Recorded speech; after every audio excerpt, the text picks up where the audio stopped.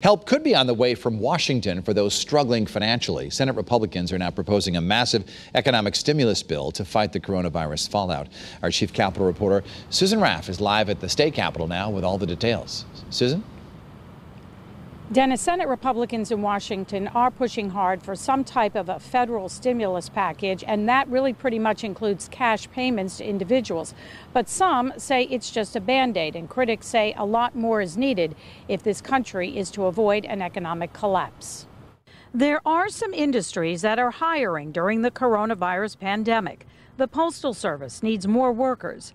And now that people are buying more things online, Amazon can't fill orders fast enough. They're also looking for people, but they seem to be the exceptions. Bars, restaurants, and just about every service type of business is now closed, and many employees are not getting paid.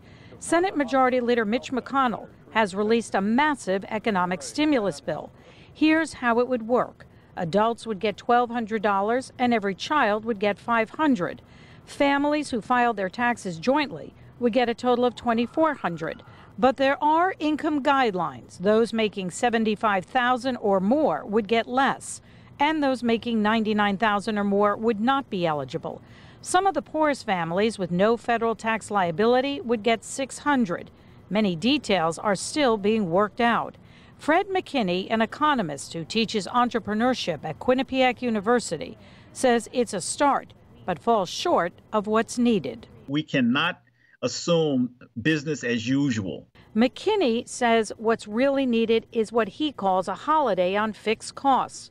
Those who are not getting paid would not have to pay rent, utilities, bank loans, auto loans, and insurance temporarily until they start working again. This is a different type of economic war that we've never faced. And so far, I'm concerned that the policymakers are focusing on things that were used in the past, perhaps effectively, but are not going to be effective in this crisis.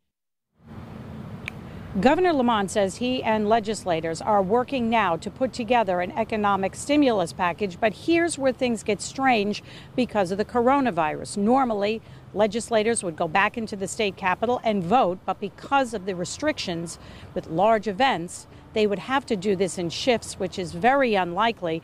But the governor now has new powers, and he could use his executive powers to approve any type of stimulus package. We are live at the state capitol in Hartford. Susan Raff, Channel 3, Eyewitness News.